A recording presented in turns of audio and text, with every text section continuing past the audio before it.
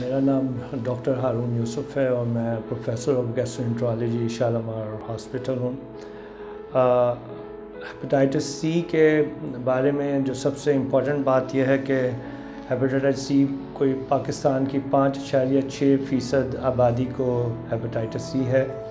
اس کا مطلب ہوا کہ تقریباً ایک کروڑ پاکستانی ہیپیٹائٹس سی کے ساتھ جی رہے ہیں۔ اور یہ ایسا ایک مرض ہے جس کی کوئی شروع میں کوئی علامت نہیں ہوتی۔ اور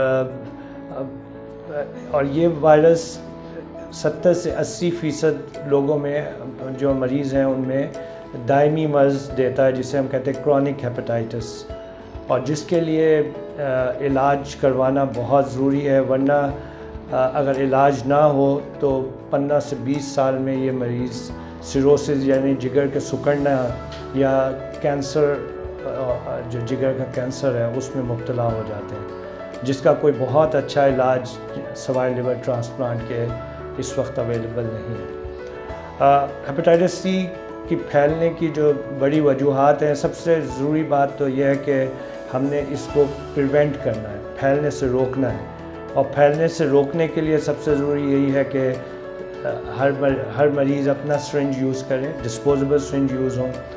اور عطائی ڈاکٹروں سے جہاں پہ اوزار پورا پراپر سٹرلائز نہیں ہوتے ڈینٹسٹری میں یا آپریشن میں، اس سے بچا جائے۔ اور انتقال خون جو بغیر ٹیسٹ کیے ہو جائے، اس سے کسی طرح حفاظت کی جائے، وہ نہ ہو سکے۔ ہیپیٹائٹس سی قابل علاج مرض ہے اور یہ مکمل ٹھیک ہو سکتا ہے۔ اگر اس کا پراپر علاج کیا جائے۔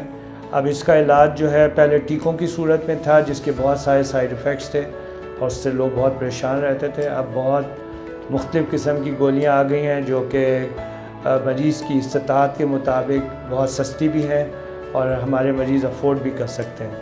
اور چھ مہینے کا اس کا ٹوٹل کورس ہے۔ اور اگر اس کا کورس پراپر کیا جائے، اس میں کوئی ناغہ نہ کیا جائے، تو نائنٹی فائیو پرسینٹ پچانوے فیصد لوگ مکمل ٹھیک ہو جاتے ہیں۔